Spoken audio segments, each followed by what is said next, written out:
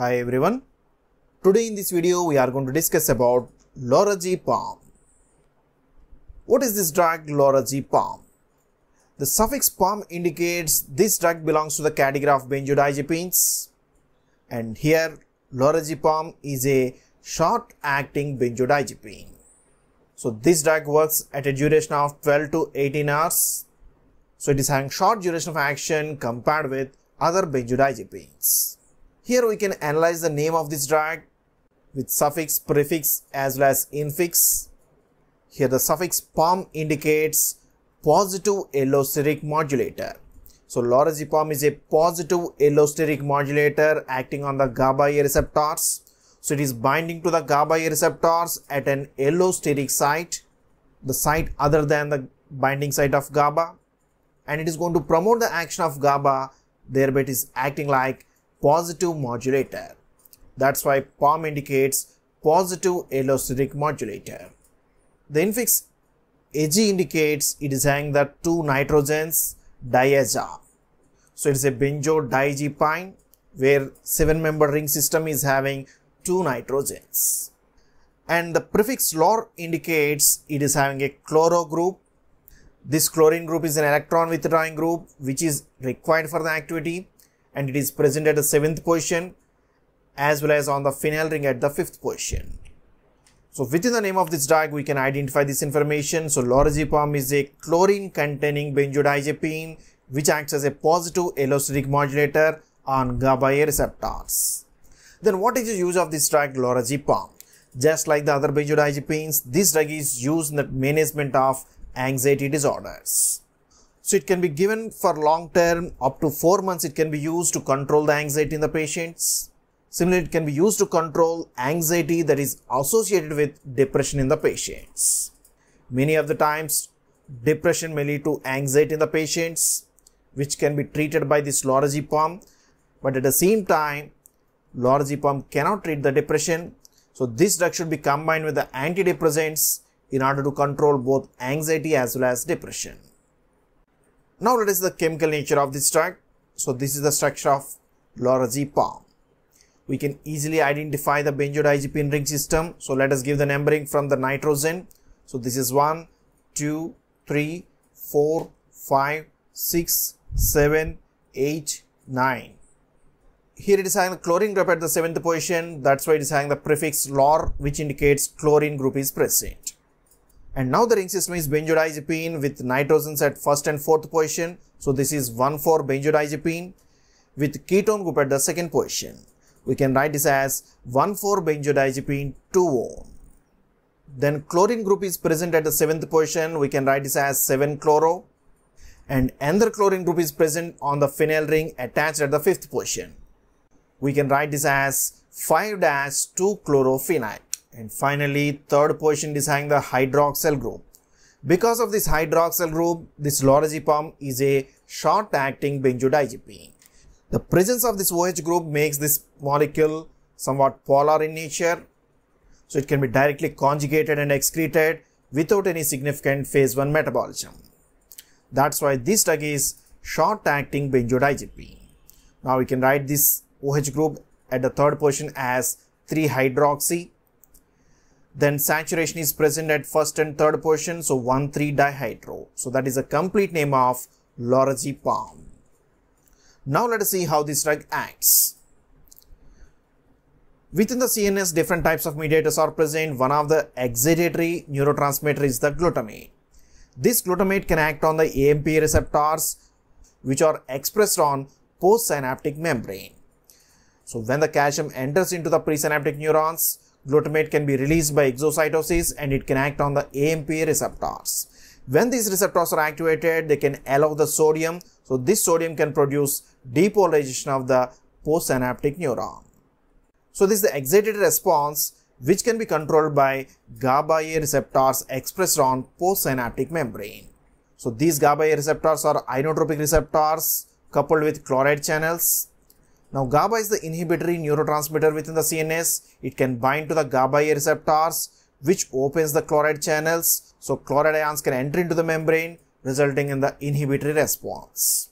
But in the patients with anxiety and sleep disorders, this GABA response is not sufficient, in such conditions we can give lorazepam.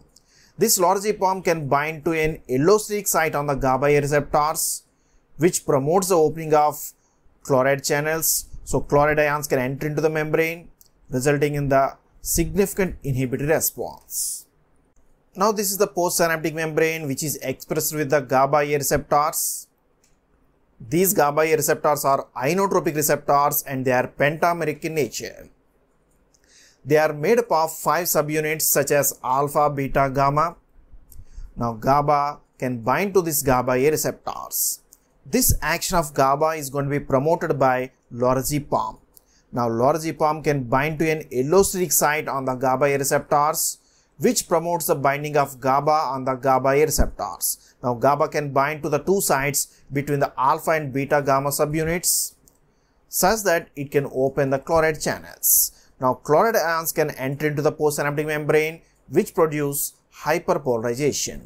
So this is an inhibitory response resulting in the decreased anxiety, increased sedation, increased hypnosis, induction of sleep and amnesia, loss of memory along with other effects such as muscle relaxation and loss of sensation can be observed with this lorazepam. Now let us see the precautions of this drug.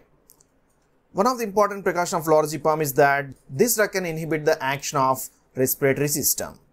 So in the patients who are having sleep apnea syndrome, where bronchoconstriction can be observed during the sleep, or in patients with COPD, chronic obstructive pulmonary disorder, in such patients, lorazepam should be carefully given because it further reduces the bronchial activity, which may result in the significant bronchoconstriction.